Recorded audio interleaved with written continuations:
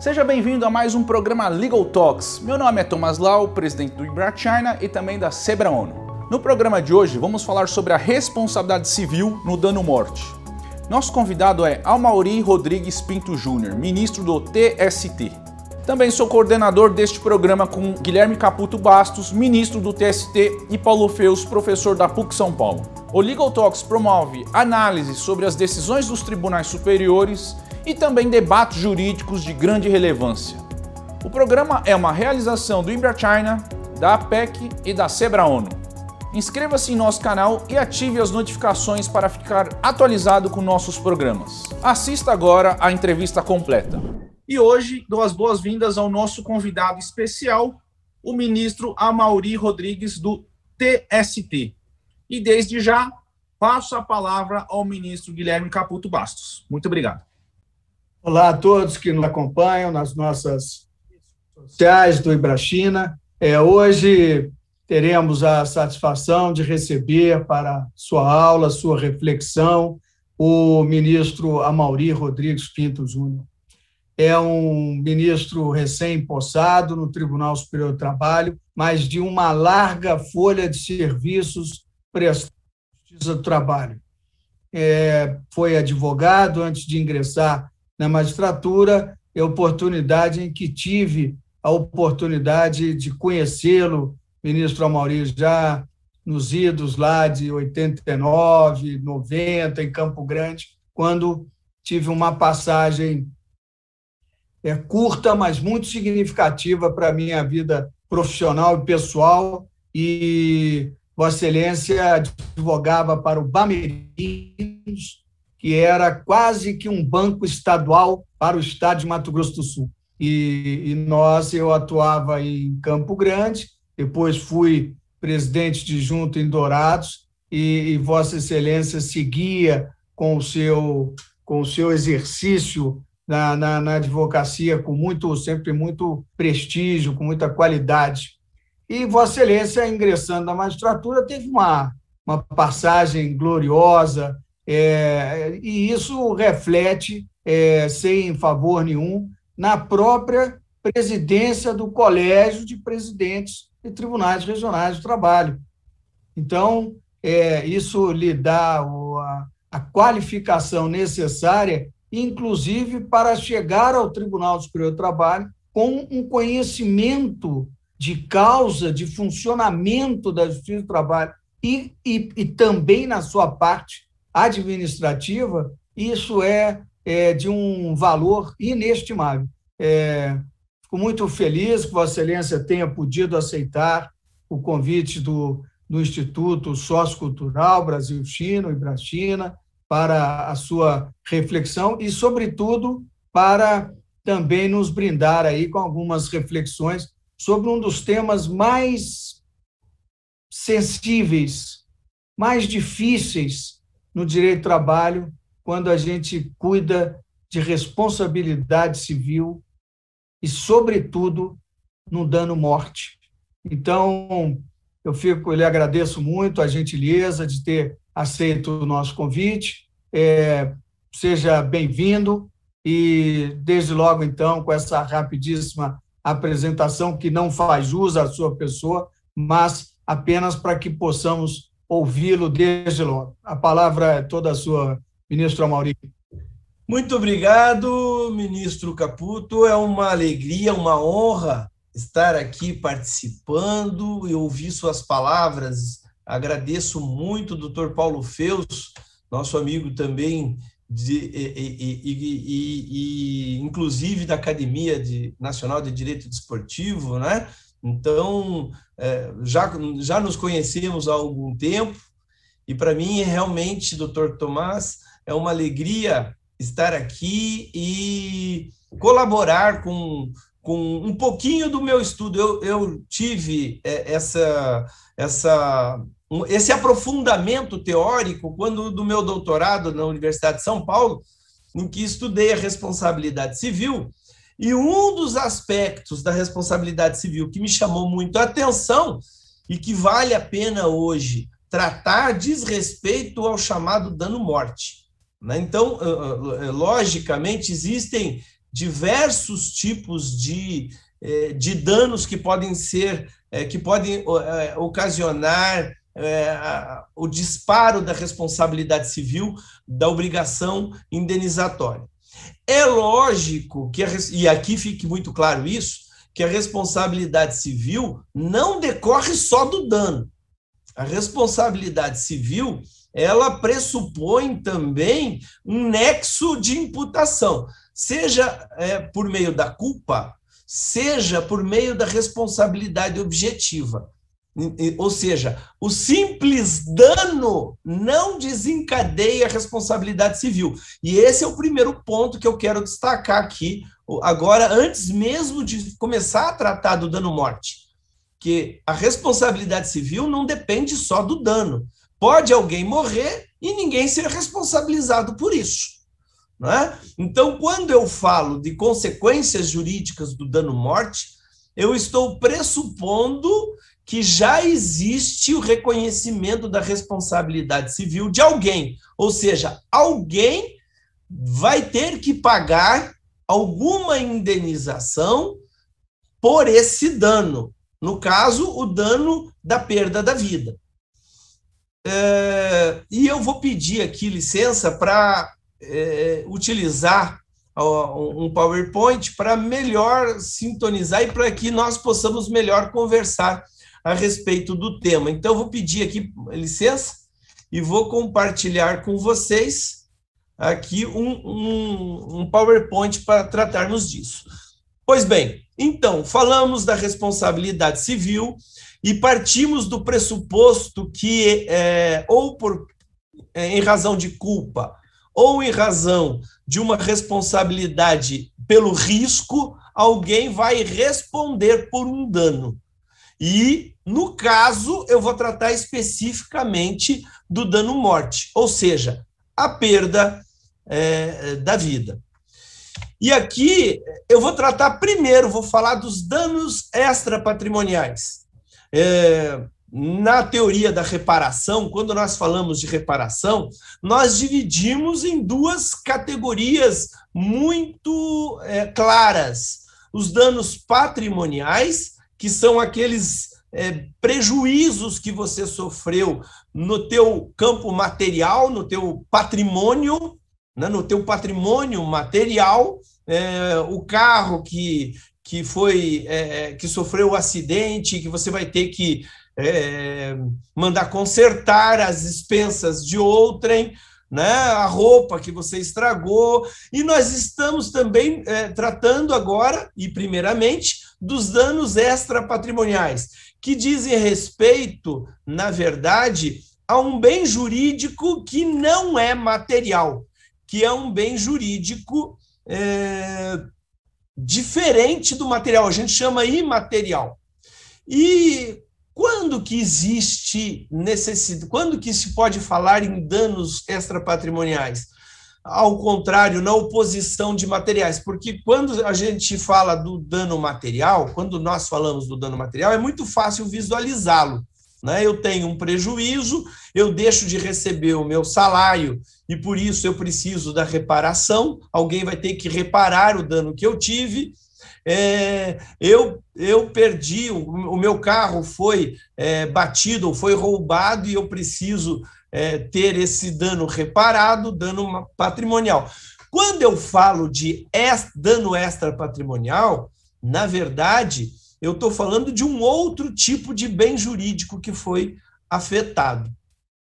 Rapidamente, muito rapidamente, porque não é esse o nosso assunto central hoje, eu vou dizer que nós temos direitos de personalidade. Como é, nós somos é, é, seres dignos, como a Constituição Federal garantiu a dignidade do homem é, e garantiu a ele direitos de personalidade, se esses direitos de personalidade, de personalidade forem desrespeitados, surgem danos extrapatrimoniais que poderão ser objeto de ressarcimento. Mas quais são os direitos de personalidade? Na verdade, é, é um feixe ligado à nossa dignidade. Mas eu posso dizer para vocês, e aqui só interessa isso, que o maior, que o principal direito de personalidade é o direito à vida. Né? Eu tenho também o direito à integridade física, eu tenho direito à integridade psicológica, né? eu, eu, eu, eu preciso ser respeitado como homem na sociedade, e aqui aí eu falaria de dano moral estrito senso, mas a vida é o principal direito de personalidade de qualquer ser humano.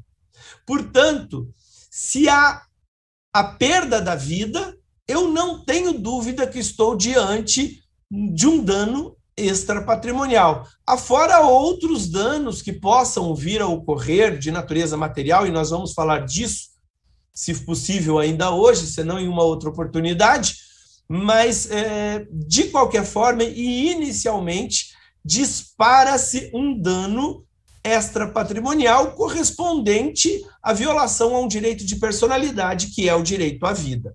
Pois bem, o Código Civil, no artigo 186, ele diz literalmente o seguinte: aquele que por ação ou omissão voluntária, negligência ou imprudência violar direito e causar dano a outrem, ainda que exclusivamente moral, comete ato ilícito. É daqui, do artigo 186 do Código Civil, que se extrai a necessidade de reparação, que se extrai a existência de uma responsabilidade civil. Aquele que violar direito e causar dano a outrem, ainda que exclusivamente moral, e agora nós estamos falando do extra patrimonial, é, comete ato ilícito e deve ressarcir. Aqui eu, eu tratei rapidamente, eu já até abordei para vocês, do é, objetivo epistemológico, a finalidade do Instituto do Dano Extrapatrimonial. Então, eu vou pedir licença até para pular, até por brevidade, a, é, a teoria do dano extrapatrimonial, que é aqui que eu observo para vocês, e eu cito um precedente do Aguiar Dias, uma, a doutrina do, do Aguiar Dias, do início do século passado, em que ele diz que o dano moral é a repercussão ao bem, bem da pessoa. Pode atingir bem material, pode atingir bem imaterial. É, porém, esse processo pode ser estudado, o dano extrapatrimonial pode ser estudado sob esse ângulo, mas ele não pode ser conceituado sob esse prisma, porque surgem questionamentos sem resposta. Quais seriam as hipóteses concretas que originam o dano extrapatrimonial? Aqueles que repercutem no patrimônio imaterial do indivíduo? Quando, mas quando que isso ocorre? Qual é o que é esse patrimônio imaterial? Então, o dano extrapatrimonial, ele é apenas se ele é apenas efeito de um, de, um, de um ato jurídico ilegal, qual é a causa do dano? E aí é que nós caímos no dano é, do direito de personalidade, que eu adiantei para vocês aqui, até por brevidade, que o direito de personalidade é o bem da vida que, uma vez violado, resulta no dano imaterial ou dano extrapatrimonial ou genericamente falado dano moral. Nem todos os danos são ressarcíveis. E isso é importante que nós possamos, é, que nós tenhamos em mente. É preciso poder diferenciar os interesses que são merecedores de proteção do ordenamento jurídico ou, da, ou ah, daqueles que são meramente caprichosos, fúteis ou que signifiquem meros aborrecimentos. Ou seja, nem todo interesse, né, é, é, é, digamos assim, pessoal do cidadão gera o, a, a, o direito à indenização. Ele precisa ser um bem relevante, um bem tutelável pela ordem jurídica. E aí, quais seriam os bens é, imateriais tuteláveis? Aquilo que eu falei para vocês agora há pouco, que eu introduzi, os direitos da personalidade. Por quê? Porque o ser humano é digno de respeito e o ordenamento jurídico deve proteger seus atributos, e o principal deles é o direito a vida. Aqui eu cito é, Brebia, é, um autor argentino, que diz exatamente isso: definido e caracterizado o grupo de direitos inerentes à personalidade, é, de, resta definida e caracterizada por lógica implicância a categoria de danos jurídicos conhecidas com o nome de danos extrapatrimoniais ou danos morais. Portanto, partimos do pressuposto que só existe dano extrapatrimonial ou dano moral quando está desrespeitado o direito, algum direito de personalidade. Como esse não é o nosso tema de hoje, é, não é esse o centro, eu vou pedir licença para deixar de é, tratar da teoria geral do direito da personalidade para, desde logo, ingressar, porque eu adiantei para vocês, é, no próprio, no, na própria divisão dos direitos de personalidade. Portanto, vejam só, e aqui eu cito Carlos Alberto Bittar, a pessoa em si, ela tem dignidade por aspectos extrínsecos, ou seja, dotes físicos e atributos naturais, direito à integridade física. Aspectos intrínsecos, direito à integridade psíquica. E a pessoa integrada na sociedade a que pertence, aí sim nós falamos com propriedade, direito à integridade moral. Portanto, o ser humano, só por ser humano, ele tem direito à integridade física, direito à integridade psíquica e direito à integridade moral.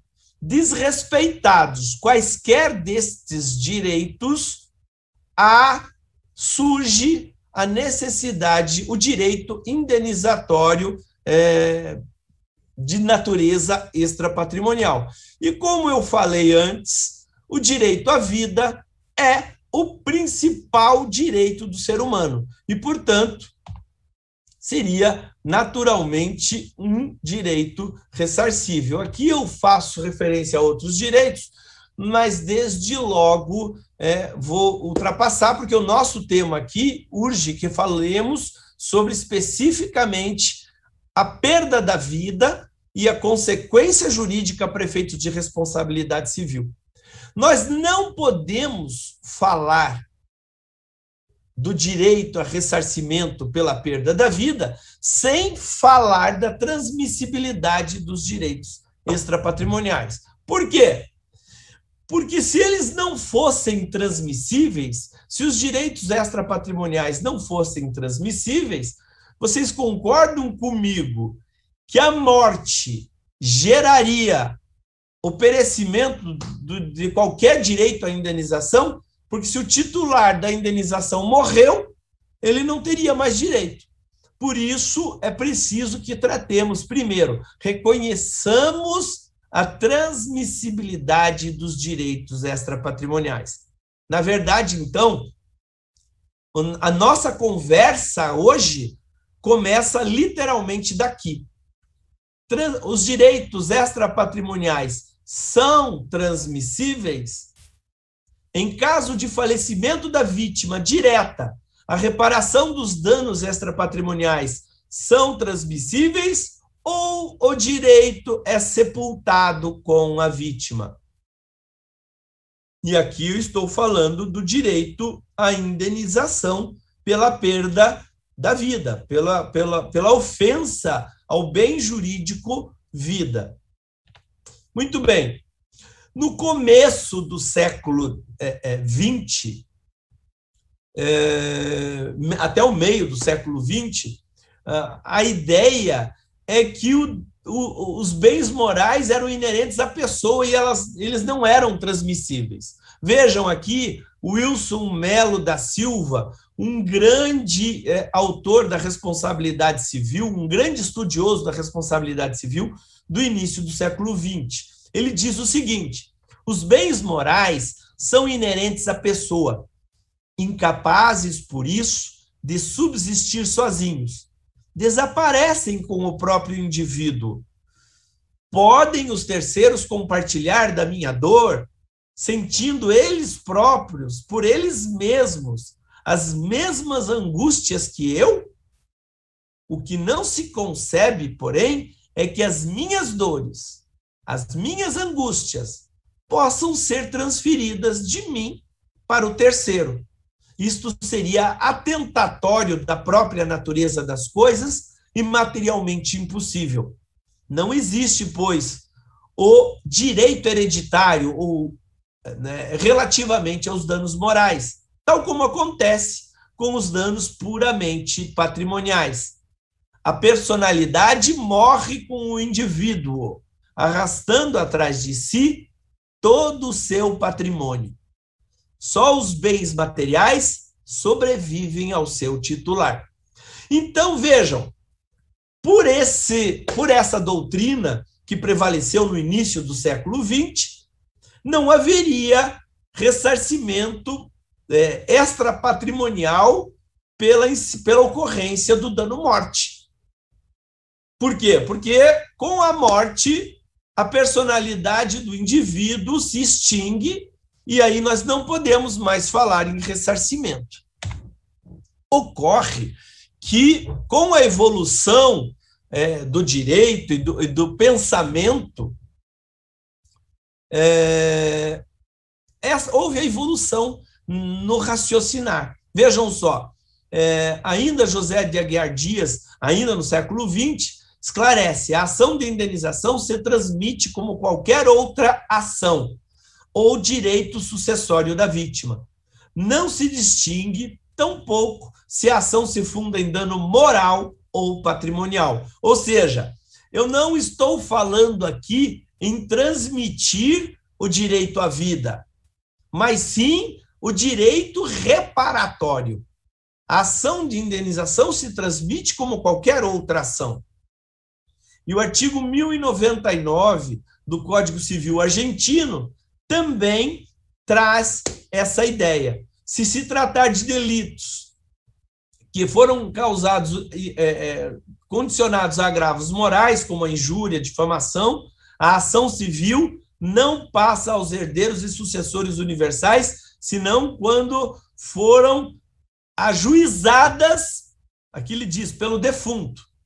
Então vejam, a evolução começou se a ação foi ajuizada pelo, é, é, pelo falecido, ela se transmite.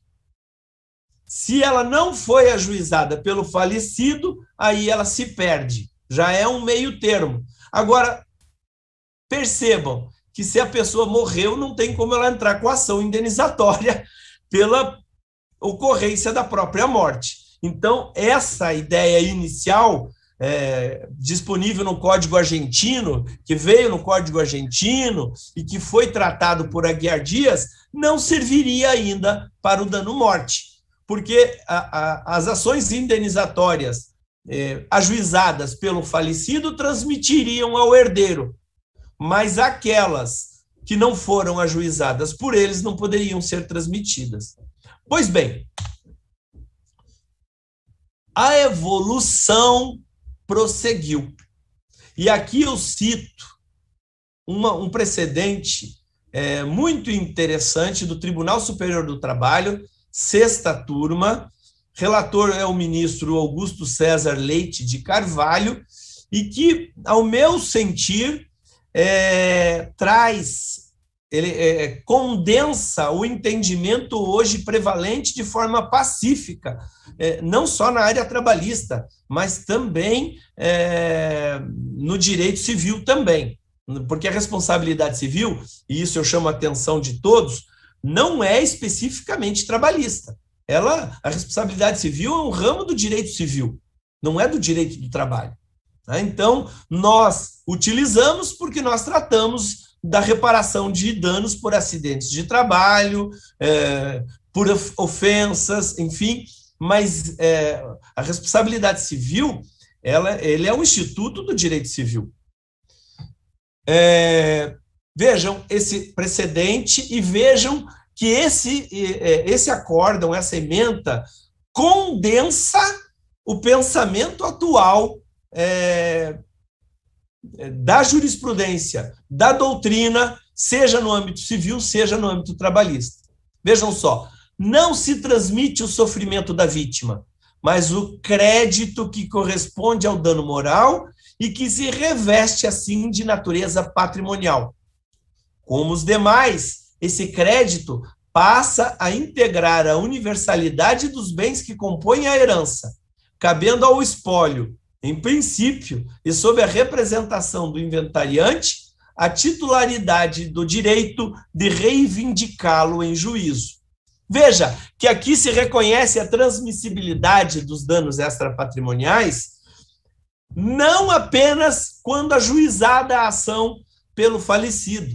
O espólio pode ajuizar a ação, ou seja, mesmo depois da morte, esse direito que nasceu, que é patrimonial, e, e atentem a isso, a indenização, o direito indenizatório é patrimonial, é um direito patrimonial. Ele decorre da ofensa a um direito extrapatrimonial, que é a perda da vida, no nosso caso, mas que poderia ser qualquer outra, a injúria, podia ser é, questões inerentes à integridade física do indivíduo, podia ser qualquer coisa. Aqui nós estamos tratando da morte. Mas foi ofendido um dano extrapatrimonial, e pela ofensa ao dano extrapatrimonial, surgiu um direito de natureza patrimonial, ou seja, o direito à indenização. E é esse direito indenizatório que passa a integrar o patrimônio da vida do, do falecido e, portanto, pode ser é, reivindicado até mesmo pelo espólio. E aqui nós reforçamos com um, um, a doutrina de Sérgio Cavalieri Filho. Vejam só, ele distingue muito bem direito de personalidade ao direito à indenização por sua violação. Diz Sérgio Cavalieri: o dano moral que sempre decorre de uma agressão a bens integrantes da personalidade, honra, imagem, bom nome, dignidade, etc., só a vítima pode sofrer, e enquanto viva, porque a personalidade, não há dúvida, extingue-se com a morte. Mas o que se extingue, repita-se, é a personalidade, e não o dano consumado, nem o direito à indenização. Portanto, aqui fica é, registrado com muito fundamento, com muita sustentação, que o dano morte ele existe por ofensa ao direito né, da vítima, do falecido, que ele tinha o direito à vida, ele perdeu essa vida, e dessa, desse prejuízo surge o direito indenizatório. Né? Então, olhem só, vou repetir.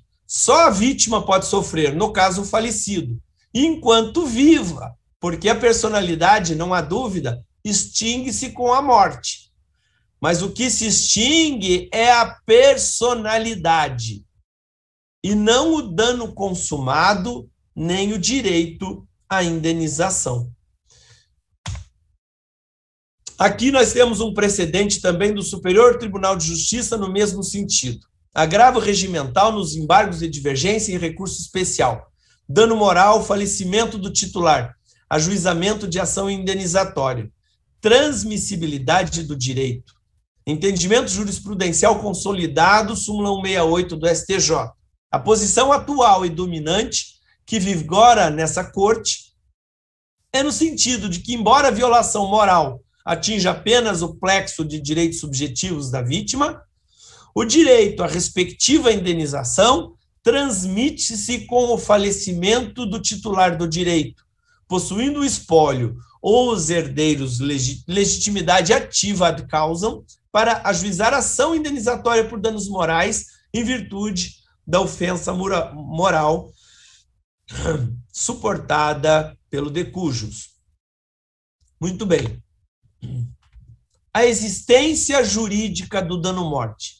Aqui nós vamos discutir. E vejam, eu não estou. Aqui eu vou abrir uma aspas. Eu não estou tratando de, dos danos reflexos.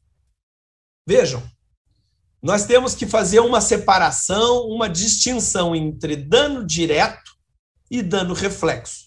A morte gera danos diretos para quem? Para o falecido, para aquela pessoa que perdeu a vida. Ele é a vítima direta. Afora a vítima direta, nós temos vítimas indiretas. Por exemplo, os filhos do falecido. Eles perderam o pai, eles sofreram também uma violação ao direito de personalidade.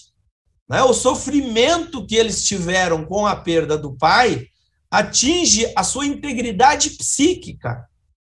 Então, é, com a ofensa à sua integridade psíquica, eles, os filhos, eles têm direito também a uma indenização. Mas essa indenização não é uma indenização decorrente do dano morte. Na verdade, essa indenização é decorrência de uma violação ao direito psíquico deles, à integridade psíquica. Por quê? Porque eles perderam o pai. E é lógico que a perda do pai tem uma, uma significação. Há uma proteção jurídica a respeito disso. É o que na França se, se chama de dano por ricochete, ou seja, a vítima direta sofre o dano, ela sofre um dano, mas ricocheteia nela e provoca-se danos em outras pessoas. Esses danos sofridos pelo filho do falecido, pela, eh, pela perda do pai, ele não é o dano morte.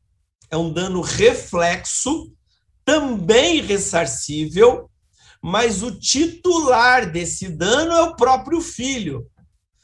Percebam que quem vai ajuizar essa ação indenizatória pela perda do pai é o próprio filho, não é o espólio.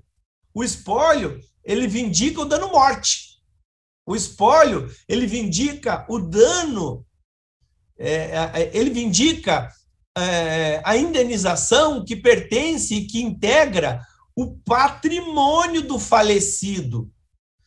Ou seja, a perda da vida gerou uma indenização e essa, o direito a uma indenização, a uma reparação, e que passa a integrar o patrimônio da do falecido, da vítima direta ou do falecido.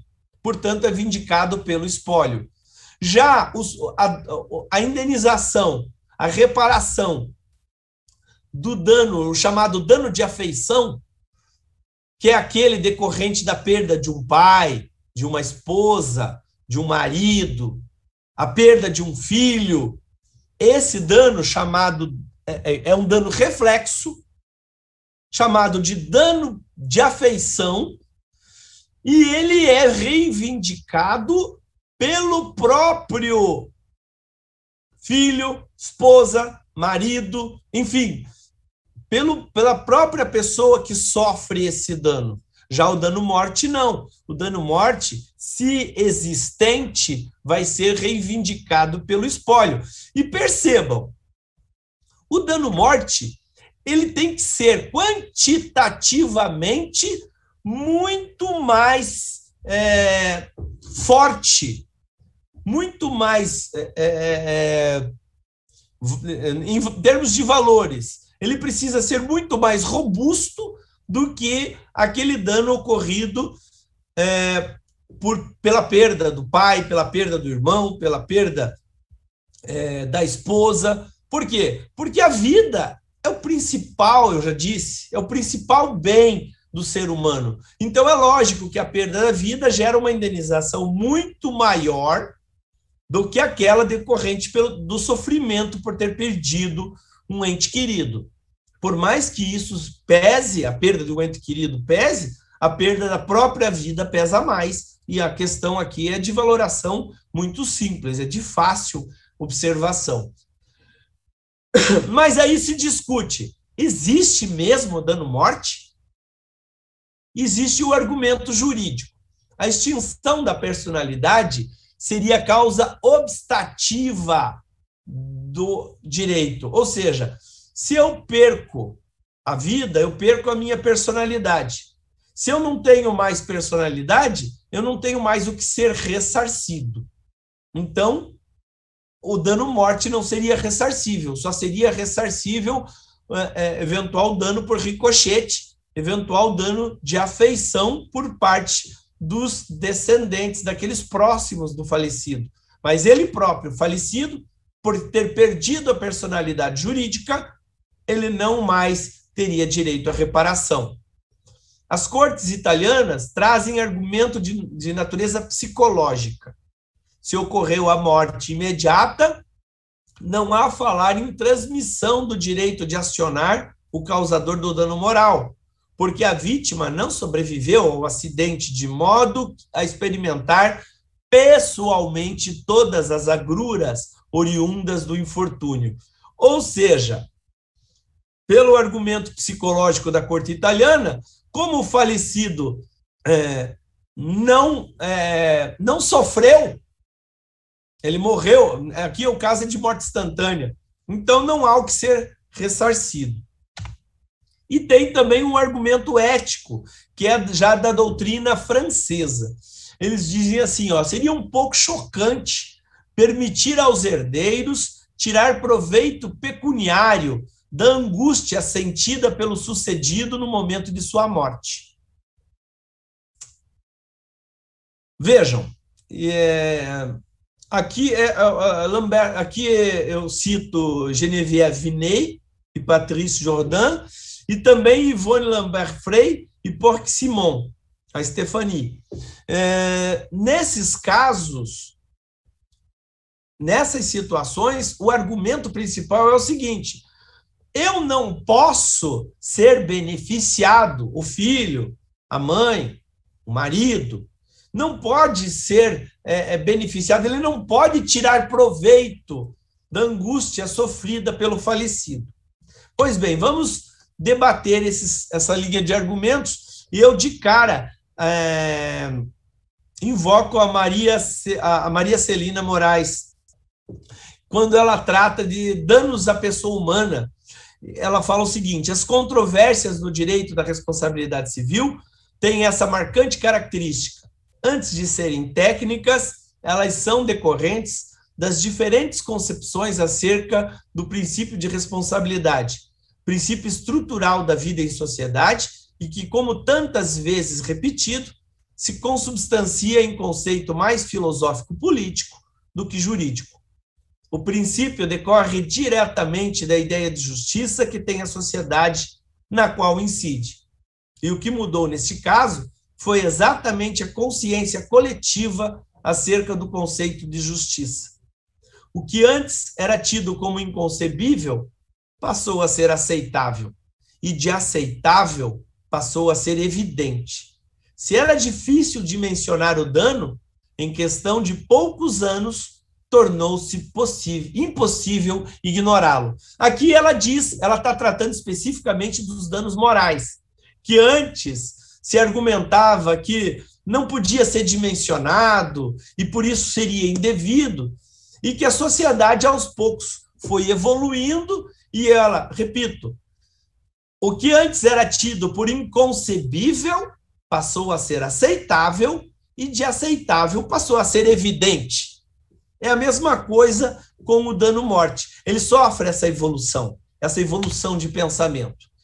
Vejam só, aqui nós temos que, em relação aos argumentos é, psíquico-físicos, é, dor e sofrimento, que é da, da teoria italiana, o fundamento teleológico do dano-morte é a perda de um bem e não sofrimento. Então, aqueles argumentos italianos de que é, os herdeiros não sofreram e que a vítima não teria sofrido, porque a morte era instantânea, né? na verdade, o fundamento teleológico do dano-morte não é o sofrimento, é a perda de um, de um direito que, que o ordenamento jurídico protege, que é o direito à vida. Então, esse argumento é, chamado psicofísico, ele é logicamente e rapidamente afastado.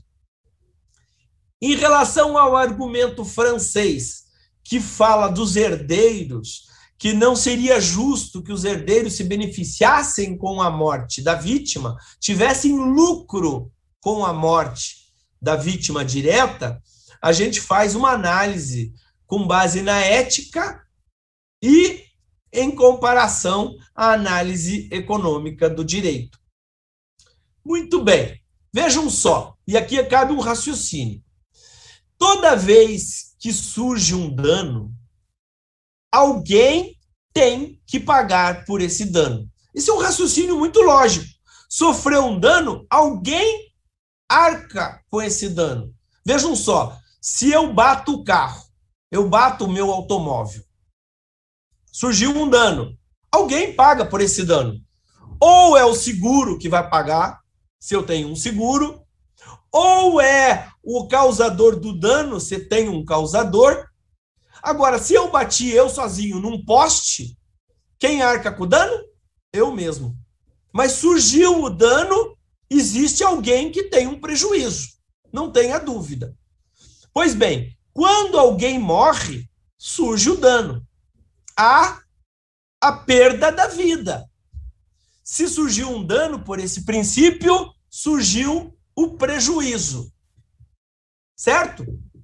Pois bem, o argumento francês é no sentido: não é possível que os herdeiros se beneficiem com a morte da vítima. Aí eu digo para vocês: se alguém morreu, houve um dano, houve um prejuízo. Se houve um prejuízo e ninguém ressarce, quem arca com esse dano é a própria vítima. E alguém lucra. Porque lucra como? Lucra no sentido de não precisar indenizar. Então, se o argumento é esse,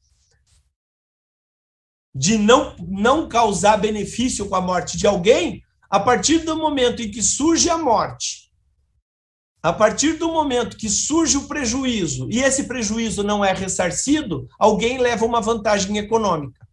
Quem? O causador do dano. Ou seja, alguém vai ter uma vantagem econômica com a morte, porque se a vítima não não é ressarcida, se a vítima porque morreu não é ressarcida, é, surge uma vantagem econômica. Ela pode ser do causador do dano, em caso de não ressarcimento, e se nós reconhecermos que a, que a, a, a perda da vida é ressarcível, quem vai é, receber essa indenização são os herdeiros da vítima.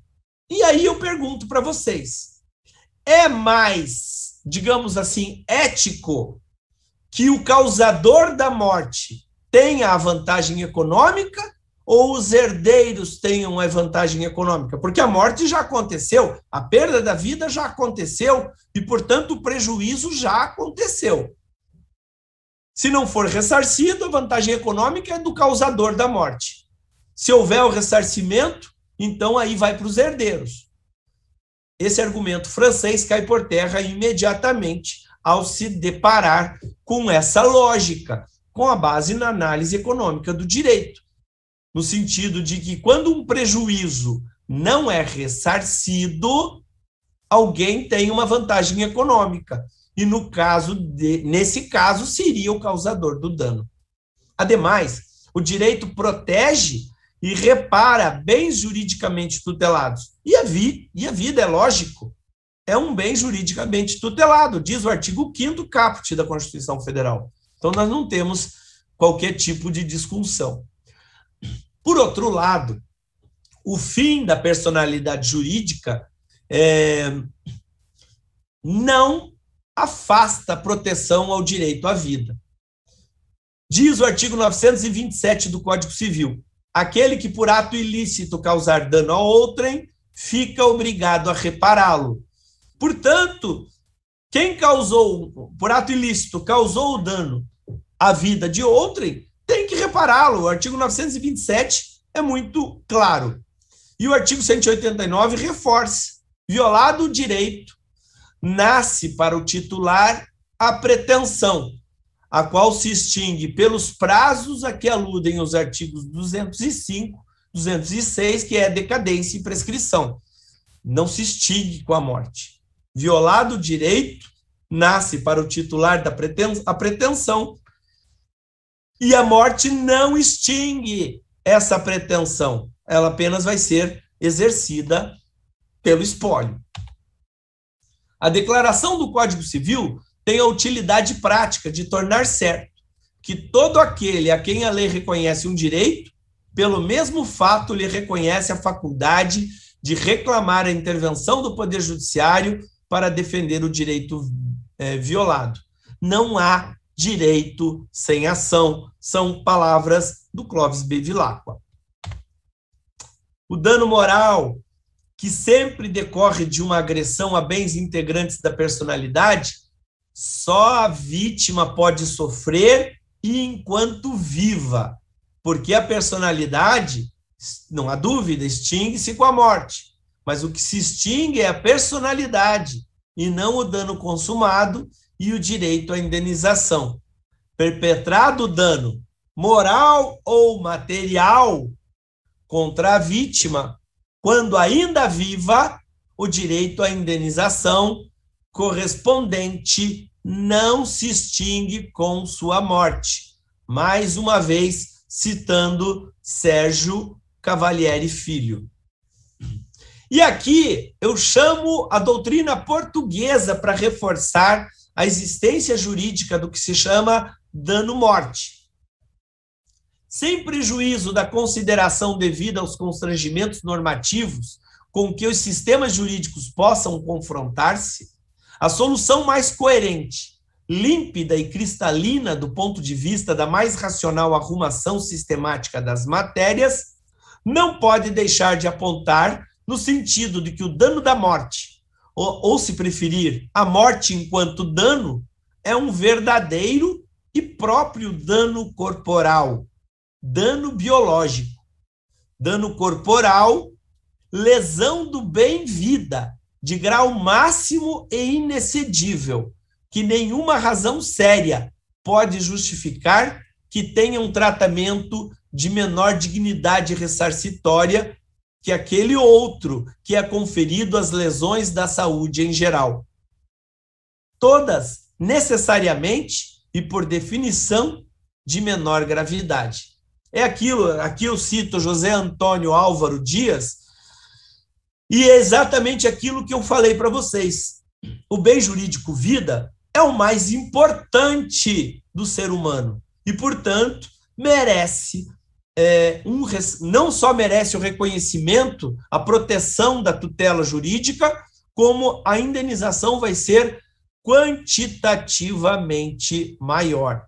Aqui eu chamo a atenção de todos para é, um, uma curiosidade aqui no Brasil. Como nós não temos ainda a noção é, do dano-morte enquanto dano, é, a, até mesmo pelo Poder Judiciário, há confusão entre dano-morte e os danos reflexos, aqueles chamados danos de afeição.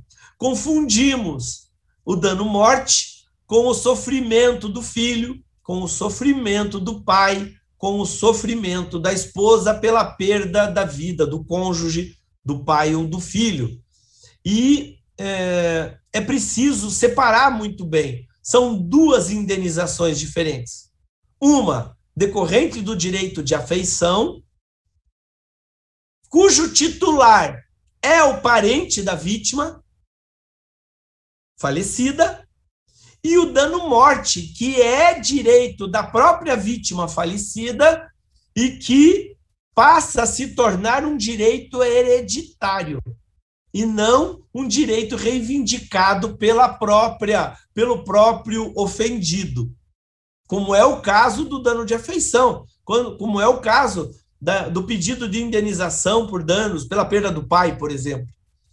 É diferente. A titularidade é diferente.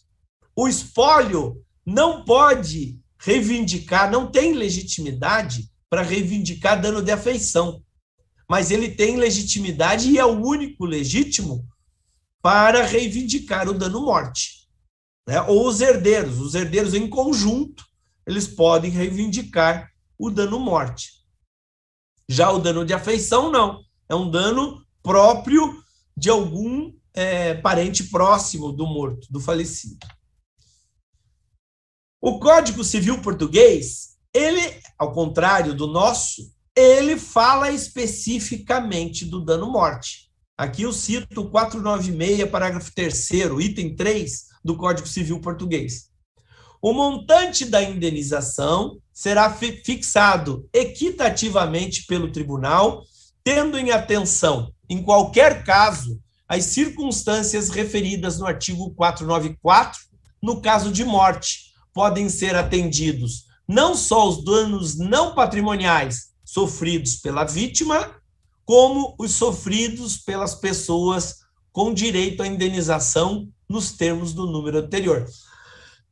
Vejam, aqui o Código Civil Português faz a exata separação do dano-morte sofrido pela própria vítima, danos não patrimoniais sofridos pela própria vítima, daqueles sofridos pelas outras pessoas com direito à indenização. Ou seja, os danos reflexos, os danos de afeição sofridos pelos parentes do falecido. São direitos separados. E aqui eu vou mostrar para vocês é, precedente judicial é antigo, 2004 ainda fala de escudo, não é nem euro mas eles separam. E aqui é muito ilustrativo. Você, aqui nós conseguimos visualizar claramente a diferença do dano morte para o dano de afeição. Vejam só, aqui é o Supremo Tribunal de Justiça português.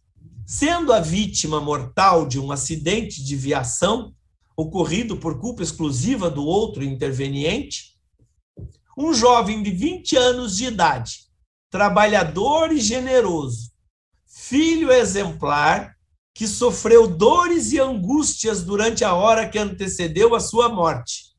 Tendo esta determinado uma síndrome depressiva autora sua mãe, mostrando-se justos e consonantes com a jurisprudência dominante, os seguintes valores indenizatórios: 8 milhões de escudos pela perda do direito à vida, 2 milhões de escudos pelos danos não patrimoniais sofridos pela vítima. 4 milhões de escudos para cada um dos pais pelos danos não patrimoniais próprios. Vejam, a par das, é, da, dos adjetivos do, do, do jurisconsulto português aqui, que fala do filho exemplar, trabalhador generoso. O que importa aqui é que ele separa muito bem a indenização pela perda do direito à vida. Quando ele fala aqui pelos danos não patrimoniais sofridos pela vítima, eu vou explicar para vocês o que é isso. Danos não patrimoniais sofridos pela vítima. É que lá em Portugal, além da perda da vida, quando o falecido sobreviveu durante algum tempo, tem-se que ele teve sofrimentos anteriores, as agruras, eh, as dores que ele sentiu antes de falecer, são danos também extrapatrimoniais valoráveis. Então, ele perdeu a vida, 8 milhões, mas antes de perder a vida, ele sofreu, ele teve dores durante o momento do acidente, sofreu dores excruciantes, é, sentiu medo da morte. São danos extrapatrimoniais que ele sofreu antes de morrer, antes de perder a vida. Então, eles estabeleceram mais 2 milhões por esses danos não patrimoniais anteriores ao falecimento. E 4 milhões para cada um dos pais, esse sim é um direito reflexo é o sofrimento dos pais pela perda, é, é, é, a integridade psíquica dos pais que foi ofendida em razão do falecimento do filho. É o precedente, esse precedente mostra muito bem a diferenciação do que a gente chama de dano-morte, daqueles danos extrapatrimoniais anteriores à morte, mas sofridos pela própria vítima, e os danos chamados reflexos. Só um detalhe: na ordem jurídica brasileira, os dois primeiros, o dano-morte, pela perda da vida, eventuais danos não patrimoniais sofridos pelo falecido antes da morte, esses dois seriam reivindicados pelo espólio. E já esse outro, que é o dano reflexo, teria que ser reivindicado pelos próprios pais em ação própria, separada daquela eh, do dano é, morte. Por quê? Porque a legitimidade para reivindicar seria do próprio pai e não do espólio. Perfeito? Muito bem. Para concluir essa primeira parte, que é tratada de danos extrapatrimoniais decorrentes do dano morte, eu tenho que lembrar para vocês que também no Reino Unido há previsão é, é, jurídica, legal, é, de ressarcimento do dano-morte. Né? O ato de 1976 sobre acidentes fatais, é, aqui diz: se a morte for causada por qualquer ato ilícito, negligência ou dolo, sem o qual a morte não teria ocorrido, a vítima fatal tem direito de ação para cobrar os danos que deverão ser ressarcidos pela pessoa responsável pela lesão, não obstante a morte da vítima. No item 2 do ato normativo, ficou esclarecido que a ação deverá ser promovida e beneficiará os dependentes do falecido, e no item 3 estão detalhados os dependentes legitimados para tanto. Vejam, portanto, que na Inglaterra a ordem jurídica permite que os dependentes demandem esse direito. No Brasil, esse direito, como era um direito que integrou o patrimônio da vítima que faleceu, ele é reivindicado pelo espólio. O que é reivindicado pelos próprios é, beneficiários é o direito reflexo, é a indenização por dano extrapatrimonial é, pela perda de um pai, pela perda de um filho, enfim. A perda da vida gera o, a, a, o direito ao ressarcimento, mas ele é reivindicado só pelo espólio, porque a perda da vítima atingiu a vítima direta, que faleceu e que, portanto, não tem mais condições é, de acionar o ofensor. Muito bem, é, acho que é, nosso, nosso tema é esgotado a, a, esse sentido. É lógico que a perda da vida gera outros tipos de indenização, mas de natureza extrapatrimonial. Mas o nosso objetivo aqui hoje era comentar, era tecer considerações a respeito do dano-morte, ou seja, o dano extrapatrimonial, o direito à indenização por ofensa ao bem jurídico vida.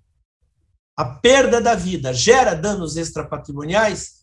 Essa, esse era o nosso objetivo do estudo de hoje, e por isso eu finalizo por aqui, agradeço a, a todos e fico à disposição depois para eventuais é, trocas de ideia, esclarecimento, dúvidas a serem é, retiradas mediante os questionamentos próprios.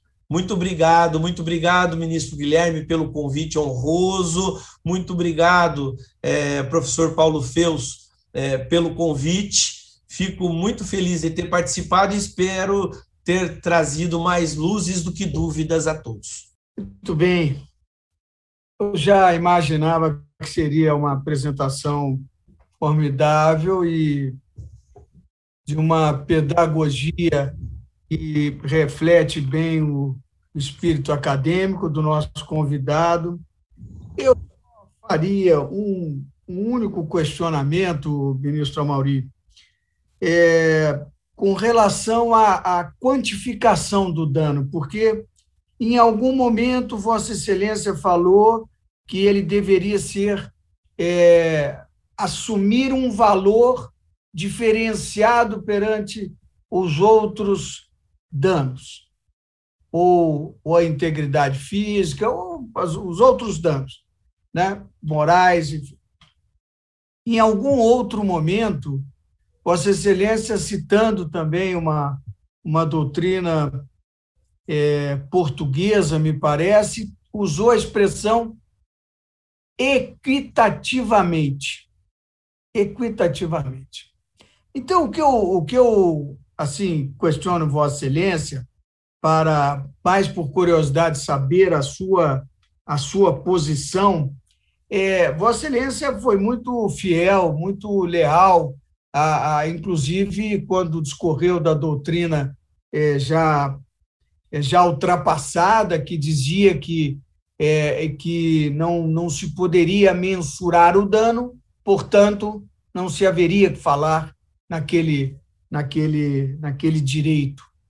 E eu, eu tenho para mim que foi uma das maiores conquistas no, no, no direito do trabalho a absorção dessa, desse, essa, desse, desse entendimento de que nós teríamos efetivamente é, direitos de personalidade que deveriam ser aferidos. Então, a minha, o meu questionamento é se nós devemos efetivamente deixar ao, ao arbítrio do julgador, considerando mais ou menos essa, essa, essa, é, essas premissas que deve ser a morte deve ser é, mensurada de forma diferenciada dos outros danos e de uma forma equitativa.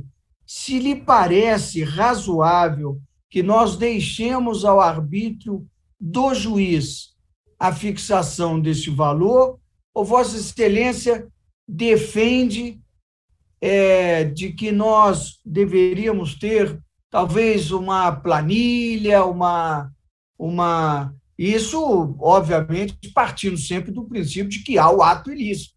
Né? Evidentemente, não é para, para o ressarcimento de quem não concorreu para aquele, para aquele dano. Né?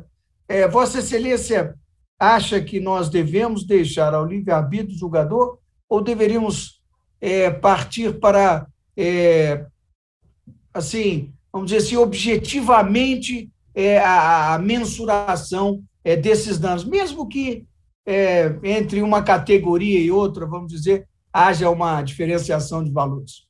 Perfeito. Pergunta excelente e que, e que me permite, inclusive, é, trazer mais uma informação a respeito do dano-morte, que eu não falei durante a minha apresentação é, e que precisa ser mencionado.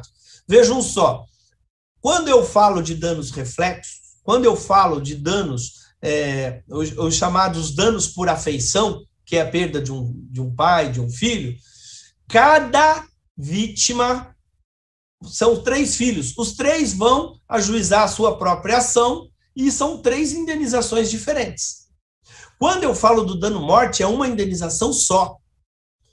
Então, é, eu não posso multiplicar por, pela quantidade de herdeiros. O valor vai ser um único valor que vai ser devido e repartido entre os herdeiros. Esse é um esclarecimento que era importante fazer é, é, porque é, muitas vezes nós podemos achar, ah, então, eu, alguém já ajuizou a, a, uma ação de indenização por dano-morte, isso acontece quanto aos danos reflexos, né? Um irmão ajuiza uma ação, tempos depois outro irmão ajuiza a ação, às vezes a esposa ajuiza a ação, e eu já tive caso que a ex-esposa ajuizou também, mais tarde, né? Então, assim, é algo a, a, a prestar atenção o dano-morte gera direito a uma única indenização repartível entre os herdeiros, não importa quantos herdeiros tenham.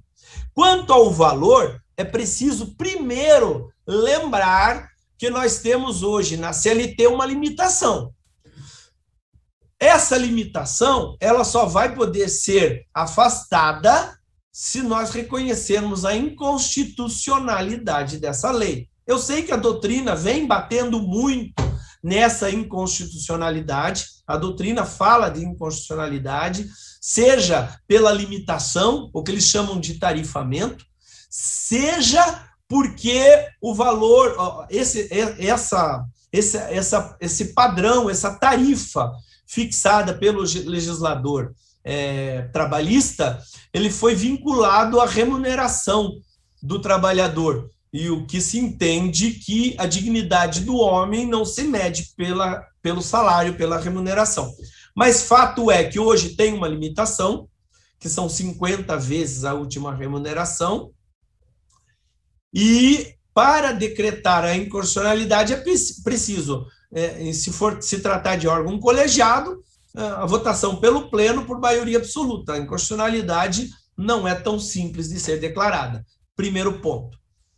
Como a pergunta do nosso querido ministro trata do meu ponto de vista, então eu saio desse campo da limitação jurisprudencial e digo que no meu estudo eu, na verdade, o objetivo do meu estudo, quando é, eu fiz o, o, meu doutoramento na USP, o meu objetivo era achar critérios de quantificação de danos extrapatrimoniais.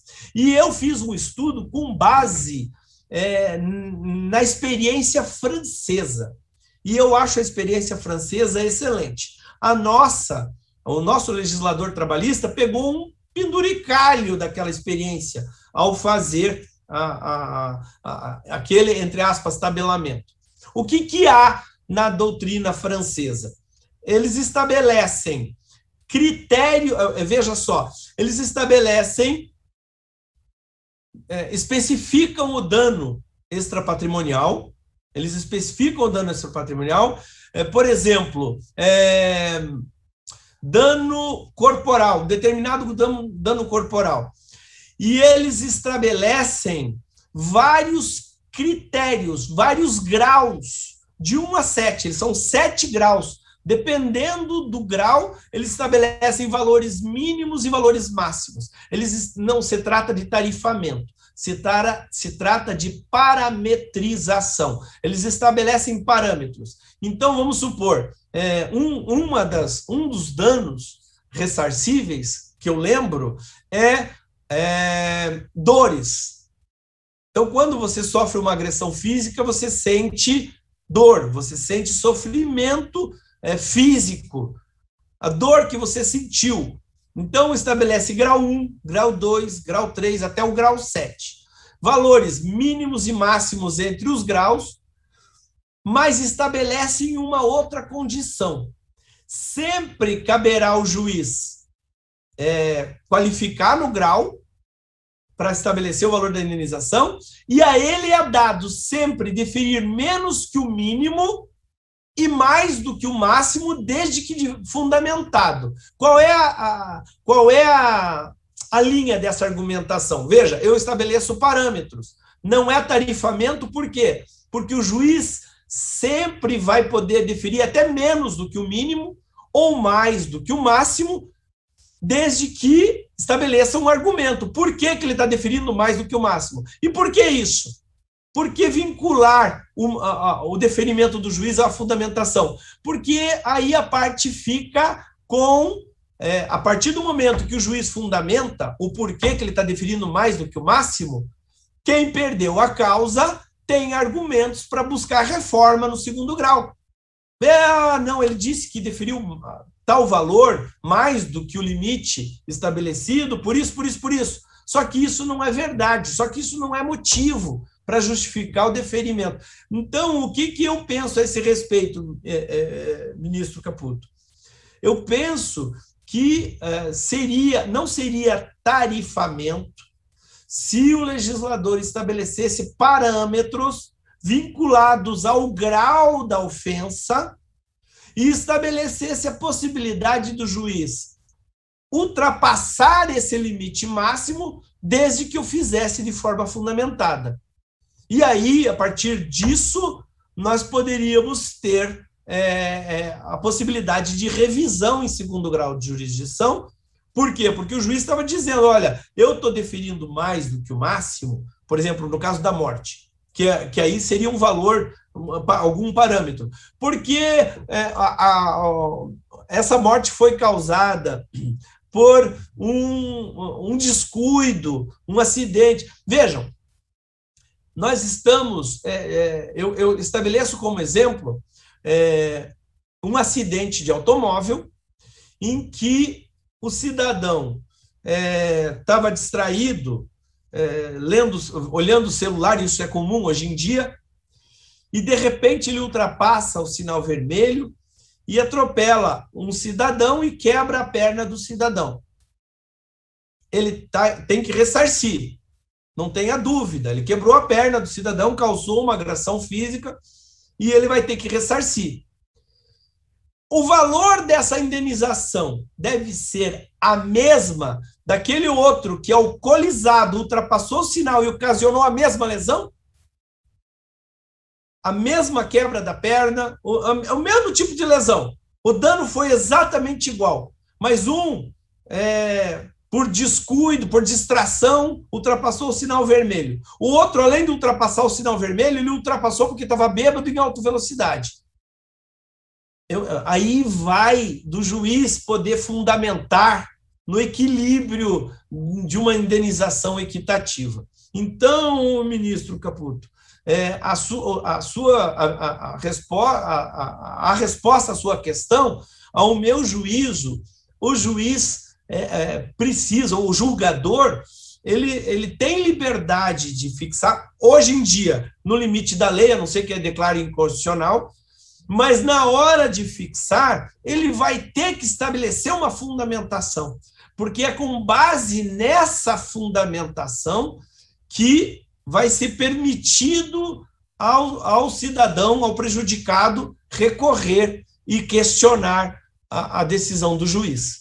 É, é, na verdade, é esse o meu posicionamento. Em relação à quantificação em si, é difícil, porque a vida não tem preço.